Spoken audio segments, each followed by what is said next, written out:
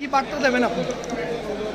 আজকে আমাদের ডুকলি ব্লকের পঞ্চায়েত সমিতির আর শপথ গ্রহণ অনুষ্ঠান আমাদের এই আমতলী কমিউনিটি হলে আমাদের ব্লকের পক্ষ থেকে আয়োজন করা হয়েছে।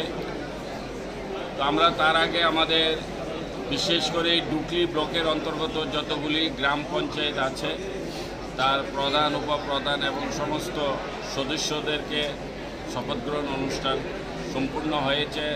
প্রধান, উপপ্রধানের শপথ গ্রহণ সম্পূর্ণ হয়েছে। তো আজ আমাদের যিনি এই ব্লকের ডুকলি ব্লকের চেয়ারম্যান এবং ভাইস চেয়ারম্যান হবে এবং যারা পঞ্চায়েত সমিতির সদস্য আছে, তাদের শপথ গ্রহণ এবং চেয়ারম্যান, ভাইস চেয়ারম্যান, আমরা সেই শপথ গ্রহণ আজকে দেখব। আমি এই বার্তা দিতে চাই, বিশেষ করে ডুকলি ব্লক। ডুকলি ব্লকের সাথে আমাদের যুক্ত আছে আমাদের বাদারঘাটের পাঁচটি পঞ্চায়েত এবং আমাদের গোলাঘাটি তিনটি পঞ্চায়েত এবং আমাদের অল্প কমলার সাগরও আছে।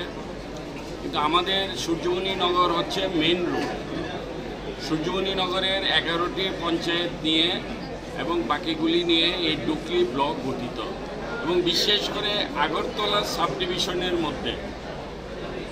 এবং আগরতলা শহরের সন্নিকটে হচ্ছে এই ডুকলি ব্লক। তার জন্যে ডুকলি ব্লকের প্রতি সকলেরই একটা দৃষ্টি থাকে।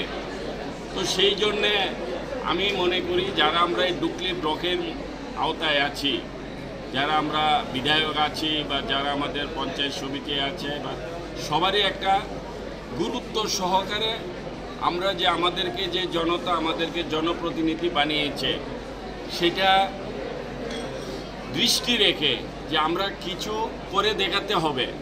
তার কারণ হচ্ছে ডুকলি ব্লক যেহেতু শহরের মধ্যে, আগরতলা শহর, আর সেখানে যদি আমরা কিছু একটা করে দেখাতে পারি জনগণের স্বার্থে, এলাকার উন্নয়নের স্বার্থে, তাহলে সারাটা, সারা ত্রিপুরাতে তার একটা আকর্ষণ হয়।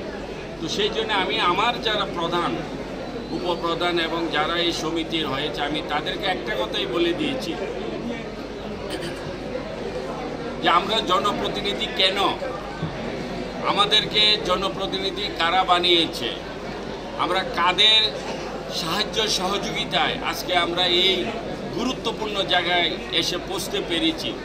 তো সুতরাং যেহেতু আমরা জনগণের দ্বারা নির্বাচিত এবং জনগণ আমাদেরকে এই একটি গুরুত্বপূর্ণ চেহারে আমাদেরকে দায়িত্ব দিয়েছে কাজ করার জন্য, তো সুতরাং সর্বপ্রথম জনগণের যে চাহিদা, জনগণের যে সমস্যা, জনগণের চাহিদা অনুযায়ী এলাকার যে উন্নয়নের প্রয়োজন, রাস্তাঘাট, জল, বিদ্যুৎ থেকে শুরু করে সরকারি সমস্ত বেনিফিশিয়ারিগুলি যেন সঠিক ব্যক্তিদের হাতে পৌঁছতে পারে।